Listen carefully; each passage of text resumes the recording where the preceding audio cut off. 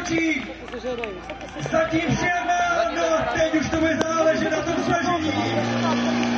Vypražil, nenaprasil, nenaprasil, nenaprasil.